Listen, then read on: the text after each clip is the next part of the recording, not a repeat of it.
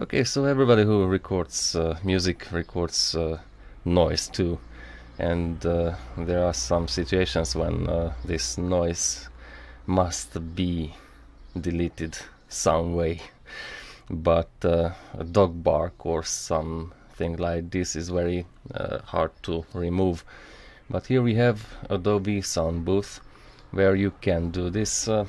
okay, there are limitations you can do it only in uh, some conditions but uh, that's a possibility too. So look at this uh, rare recording.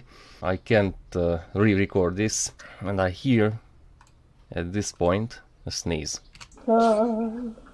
Listen again. This sneezing I can remove or if not remove reduce.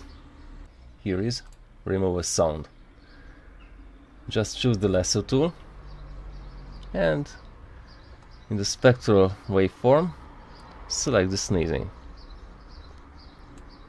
Okay you have to see what is the sneezing here and just take down the volume.